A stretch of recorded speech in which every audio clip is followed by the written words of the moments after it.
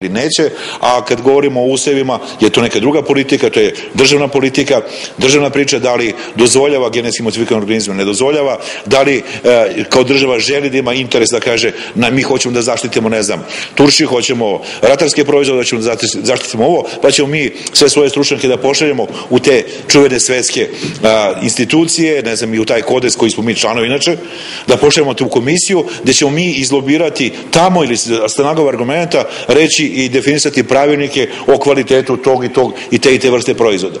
A nas, na primjer, kao državu ne bi možda trebalo da interesuje kako se gaje morske školjke, jer mi nemamo kao država morske školjke. Nas jako interesuje da zaštitimo i kukuruz, da zaštitimo i, i ne znam, i paradajz i krastavac, taj koji, koji neko napravio paneku, da zaštitimo možda neku sortu i goveda i svinja, mangulice i tako dalje. Znači, to je nama interes da to kao država uradimo i mi ćemo tu postaviti standarde šta je komercijalna proizvodnja, šta je ova, šta je ona. I onda je najopasnije kad neko od nevladnog sektora zbog nedovoljnih informisanosti potrošača upravo pusti i plasira takvu jednu informaciju koja napravi skroz negativnu i konotaciju o samo nevladinom sektoru, a da ne kažemo nečem drugom. E, zakon je u tom pogledu kod nas davno donešen, jeli, međutim ima određenih e, inicijativa ili zahteva iz Evropske unije da se on menja, je li tako?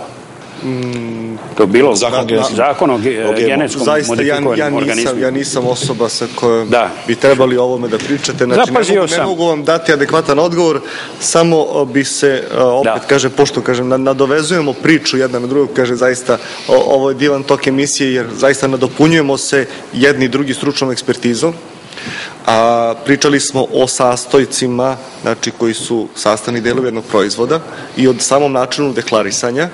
Znači HCCP je strogo definisao da pre početka rada moramo da opišemo proizvod znači da mu damo krajnju namenu, to je koja grupi potrošača će biti namenjen i da se uz proizvođačku specifikaciju po opadajućem nizu navedu sastojci koji će biti korišćeni u tom proizvodu. Ukoliko dođe do izmene proizvođačke recepture, ta receptura mora da se promeni, jasno da se navede od kojeg datuma važi ta receptura, ukoliko se nešto novo od opremi alata uključilo, da i to se ažurira u planu, ali ono na što bih ja volio da skrenem pažnju potrošačima, a, znači naš, naš ceo cilj je zaštita znači, potrošača, je da obrate pažnju na listu alergena koje je moguće da se pojave u hrani, a, vrlo malo potro, o, proizvođača želi da doslovce navede sve alergene koje se nalaze u hrani, a koji mogu da imaju, da kažem, počeo od nekih blagih osipa, svraba, pa do na kraju i smrtnih ishoda.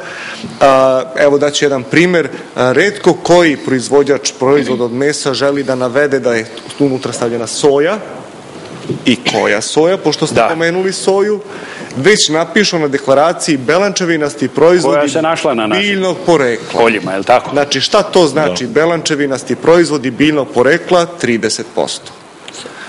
Ne znam kako je prošla analiza roštilj mesa u, da kažem... To je radila organizacija koja opet to nisu znali da urade kako treba.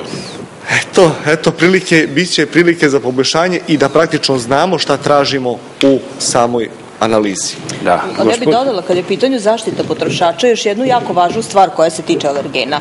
Jedno je što se e, veliki alergeni ne, dekla, ne deklariše se ispravo njihovo prisustvo, ali ko, to je nešto što nedostaje u našoj zakonskoj regulativi, obaveza deklarisanja odsustva alergena. Jer šta kada je neko alergičan na gluten? A to znači da ne može da jede pšenicu, raž, ovas i ječam, što znači da ima problem sa ugljenohidratnom komponentom hrane i hlebom koji svi po nekoliko puta dnevno konzumiramo da ne govorimo o drugim alergenima kao što su lešnici, soja i mlečni proteini i tako da dalje. Da I recimo susam koji svi masovno koriste, Savremen, Savremeno deklarisanje zahteva da se e, trebalo bi da se deklariše na primer u čokoladi da nema glutena. U mesnim proizvodima da nema glutena znači da se proizvođač pobrinuo da prekontroliše da u tehnološkom procesu nije ušli, nisu ušli ni tragovi alergena. I to je jedna grupa potrošača koja je praktično ne zaštićena jer takvog deklarisanja kod nas nema. Gospodin Papović. Da, htio sam da ne ostane, vi ste pitali da li Evropa i neko drugi vrši pritisak da mi izbacimo i menjamo pravilnik o GMO. Da. To je bilo vaše pitanje, pa pošto je Jeste. iz gospodine veterinar, nije mu to oblast. A, ja, ono što sam malo pre rekao, pa bi samo s time povezao. Znači, država Đelić Srbija, i Dragin su govorili o obavezi da Srbije da se zakonodavno uskladi sa Europskom unijom po upitniku, dakle, kada smo dobili onaj čuveni upitnik, jel da? Odnosno, date su zamerke na zakone o rakiji i genetsko modifikovanoj hrani. Dragin je eksplicite odbio bilo kakvu mogućnost da se u Srbiji koriste GMO proizvodi. Istina, to se dešavalo u vreme prošlog ministra, ali kontinuitet postoji. Mislim da tu ima dve stvari. Jedno je da li će se koristiti GMO proizvodi, njih ima i sada uvozne soje u tim kakvim žitaricama za doručak. Može, ako je deklarisano, niko ne može da zabrani se to unese. Može, ima mikroorganizmi koji proizvode enzime koji su genetski modifikovani, toga ima masovno u nekim proizvodima, ali to su tragovi u stvari. A druga stvar je da li je kod nas dozvoljeno proizvoditi u poljoprivredi genetski modifikovane organizme. I mislim da tu treba imati u vidu da je velika šansa naše zemlje da ne proizvodi GMO. Jer potražnja za e, GMO free ili e, proizvodima u kojim nema GMO je sve veća i veća i to će, to će biti proizvodi koji cenovno idu gore. E, to, se, to se mora razdvojiti što kaže jasno, ali Dobro. još jedna stvar da... Ali vas molim i o kvalitetu da, nešto da Upravo o kvalitetu, znači da mi sad tu malo damo paralelu i oko GMO i oko aditiva i oko herbicida, pesticida i svega i svačega. Znate, period mutacije, opet ću ja pozvati na institut, pošto s njima smo najviše sarađivali, period mutacije za neke aditive koje se dodaju hrani je 10 godina. A posle par godina i već taj proizvođač promenio naziv.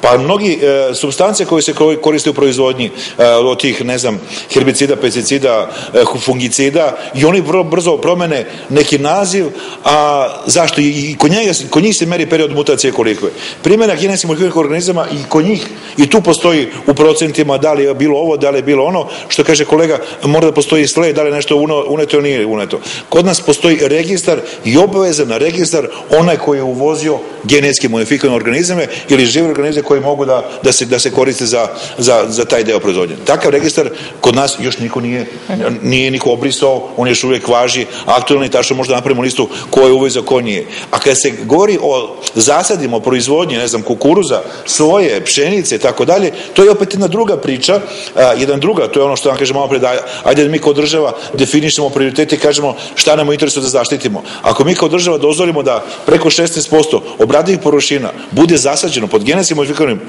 Organizmima, odnosno um, ajde tim mutiranim i drugim oblicima, mi ćemo izgubiti status, mogućnost da budemo kod država da se bavimo organskom proizvodnjom. I to je potpuno jasno. I ja sam možda, ajde, neko će mi to zameriti, ali rekao da je možda taj krastavac koji se ta pojavila Šihija Koli koja je bila u da. Nemačkoj, gde su oni odmah rekli, a nauka još uvijek nije završila svoju priču, još uvijek ne znamo što pravo poreklo svega toga, rekli su da je to krastavac, ne znam, iz, iz Španije, a zapravo Španija pravi, taj krastavac se proizvodi na organski način proizvodnje.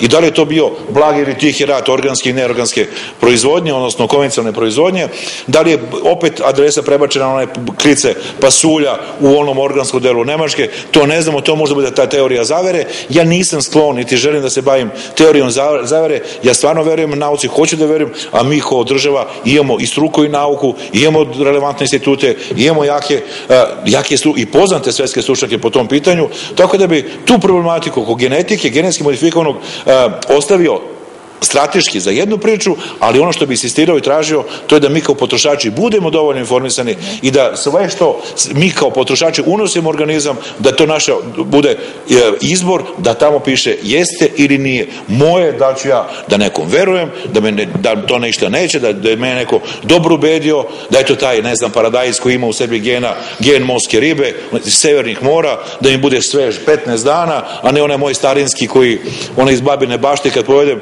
ako ako nisam pojeo jedan dan, sledeći dan se već raspada, ali lepo miriši, ima lep sok, ovo ima samo čistu vodu, e sad je to, znači stvar, da li ja kao potrošač hoću da prihvatim da jedem ovo ili neću ovo. Iako nema posledica, je li po Tako je, upravo u svakom slučaju idemo na zadnji blok reklama i onda smo u završnici emisije.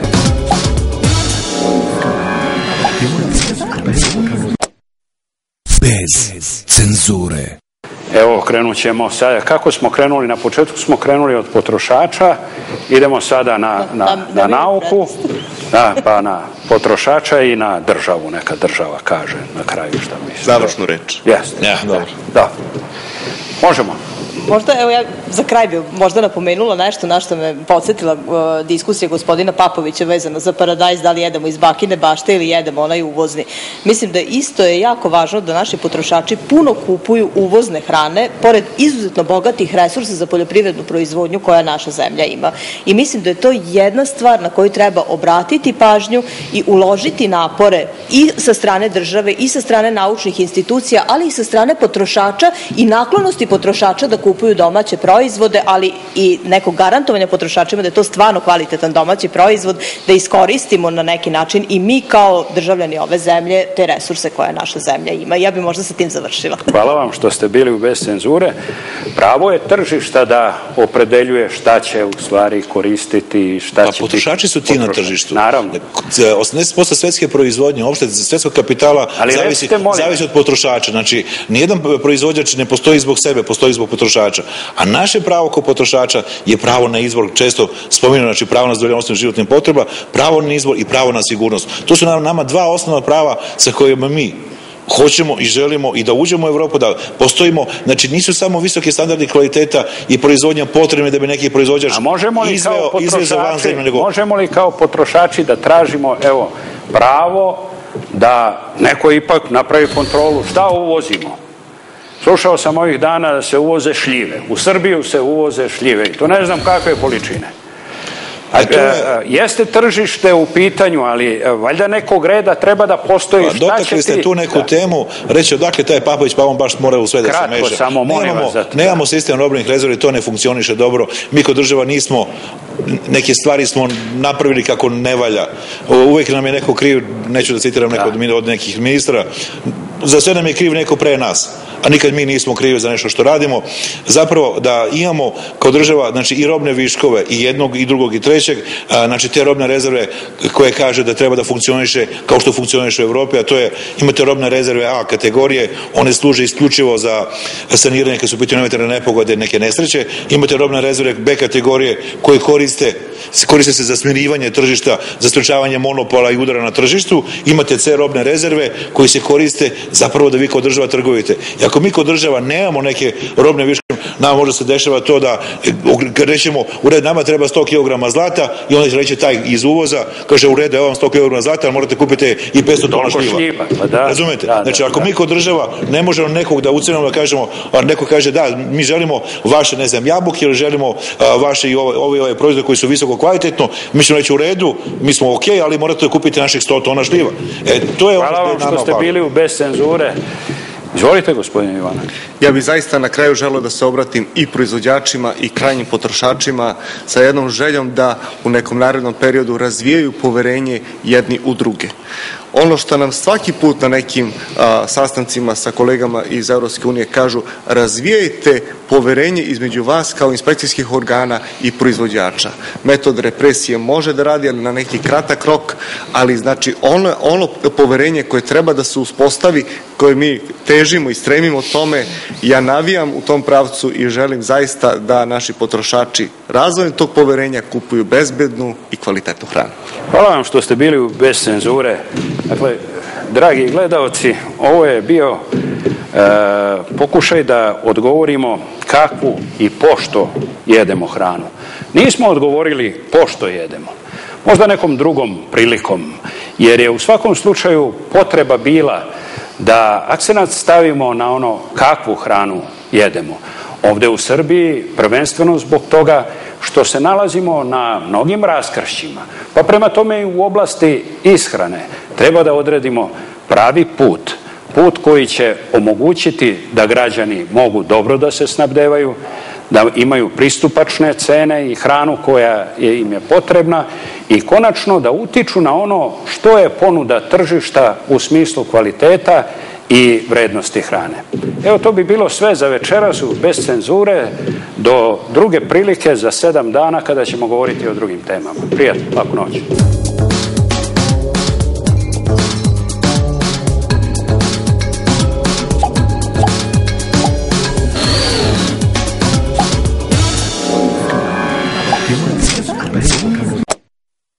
Bez